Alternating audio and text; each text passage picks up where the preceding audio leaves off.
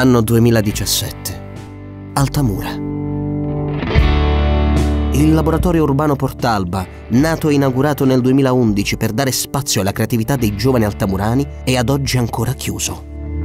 Una parte della struttura è impraticabile, mentre in alcuni spazi, la cui gestione è affidata alla parrocchia Sant'Agostino, vengono svolte alcune attività. Abbiamo cercato di ricostruirne la vicenda